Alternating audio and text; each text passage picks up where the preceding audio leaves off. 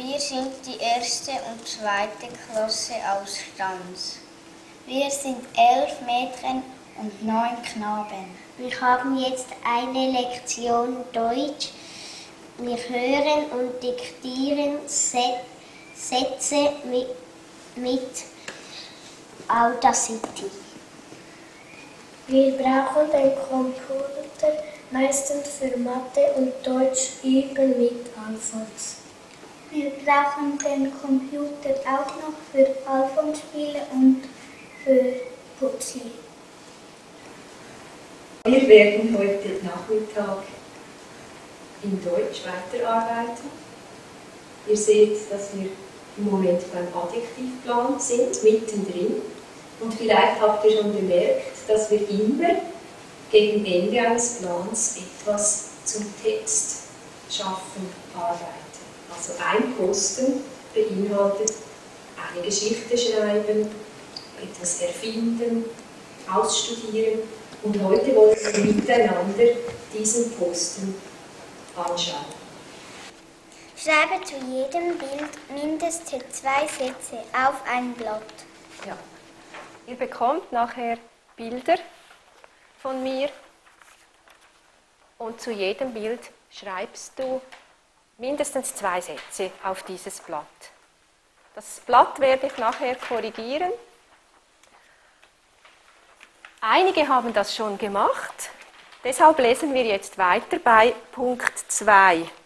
Wer möchte den zweiten Kasten vorlesen? Andrin? Lies die Sätze gut vor. Übe, bis es dir ohne Fehler gelingt. Genau. Also wenn die Sätze geschrieben und korrigiert sind von mir,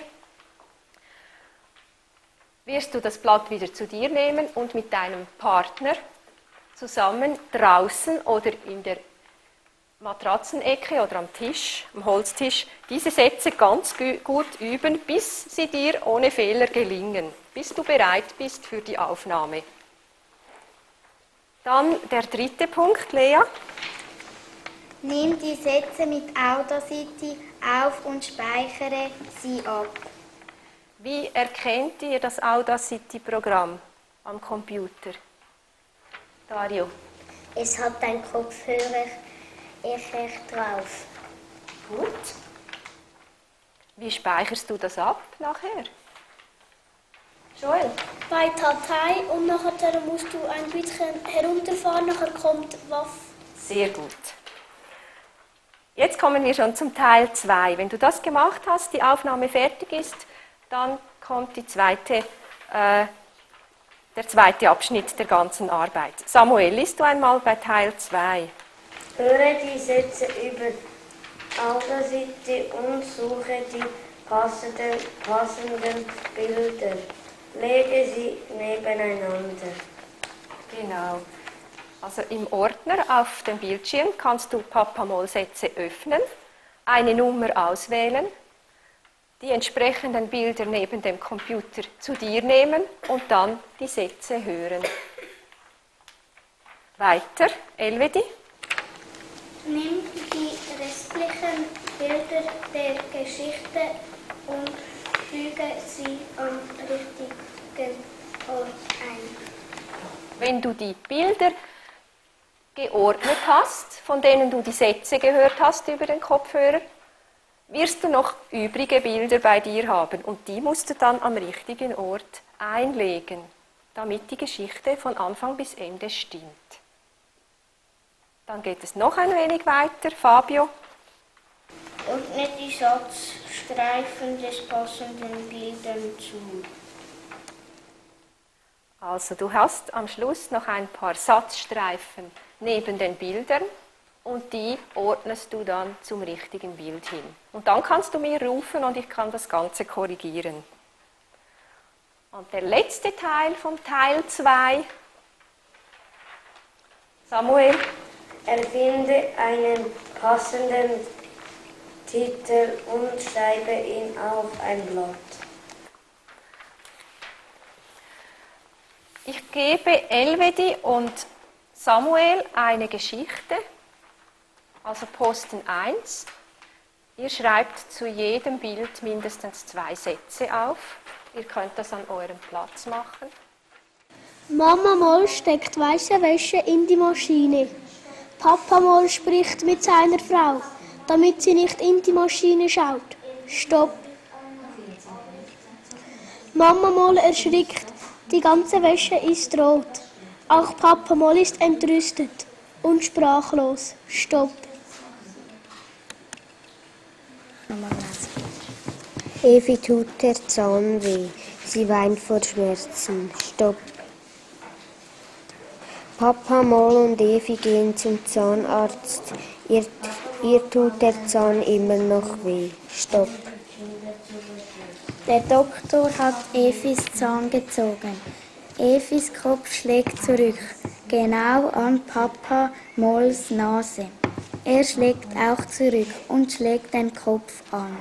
Stopp!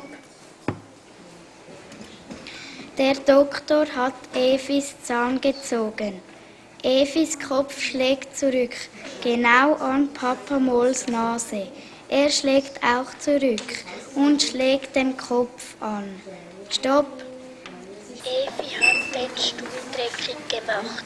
Papa Moll wird sauer. Stopp.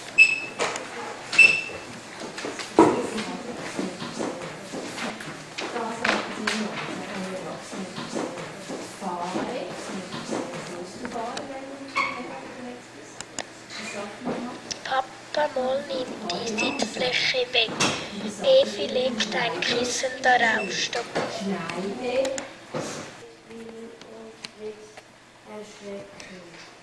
Sie schreien und tanzen herum. Rennen. Schreibt wird rennen. Das geschieht jetzt.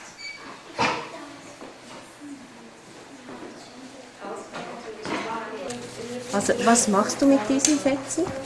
Die muss ich beim passenden Bild tun. Genau.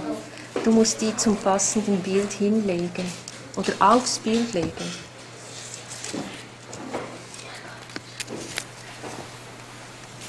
Dann kannst du mir wieder rufen, wenn du das gemacht hast.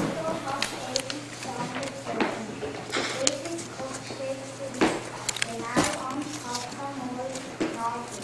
Er schlägt auch zurück und schlägt den Kopf an. Stopp! So, diese Lektion ist jetzt bald vorbei. Ich möchte noch eine Schlussrunde machen und von euch hören, was ihr alles so erledigen konntet, wie es gelaufen ist. Ob es gut gegangen ist, ob es Probleme gab. Wer könnte dazu etwas sagen? Zu dieser Arbeit mit dem Computerprogramm. All- Alles ist gut verlaufen und ich bin gut vorwärts gekommen und habe den Plan fertig Du hast alles erledigt. Tipptopp. Wurde jemand unsicher und brauchte Hilfe von einem anderen Kind? Elvedi, Beim, äh, dort beim Computer habe ich nicht gewusst, wo drücken. und was hast du dann gemacht? Ich habe Dario geholt. Das hast du sehr gut gemacht. Ihr merkt manchmal, sind drei, vier Kinder um mich herum und dann ist es eine gute Idee, wenn du ein anderes Kind holst, weil ich dann nicht auch noch zu dir kommen kann. Also ich habe den Eindruck, ihr habt sehr gut gearbeitet, ihr habt einiges gemacht. Und wer nicht ganz fertig geworden ist, braucht bestimmt nicht mehr allzu viel Zeit, um diesen Plan auch noch zu beenden. Das werden wir dann in nächster Zeit machen.